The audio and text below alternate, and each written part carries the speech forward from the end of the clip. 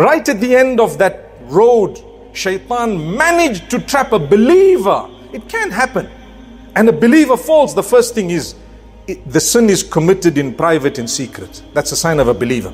The minute you openly commit sin and you're proud of it, you're defying Allah, you're playing a game with something that you're not supposed to be playing with.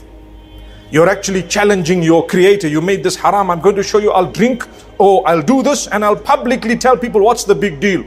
You're playing a game when Allah's punishment comes. We ask Allah to save us. So a true believer, even if they fall, they fall privately. And as soon as a sin is committed, they are embarrassed. They regret. That's a sign of a believer. إذا سرتك حسنتك وساءتك سيئتك فأنت مؤمن. When your good deed makes you happy, you get up for tahajjud one day and you feel so good about it.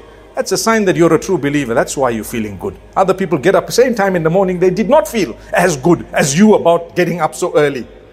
You felt good because why? You're a believer. I got up today. It's early, nice. I read some, I made dua, I cried to my maker. What's that? It's a sign that you're a, you're a good man, you're a good woman, you're, you- you're, you're a believer, you believe in Allah by the will of Allah.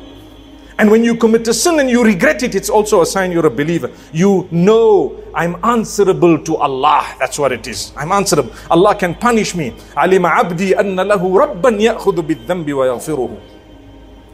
My worshipper now has recognized that he has a Lord in charge. He can either punish him or forgive him. There goes.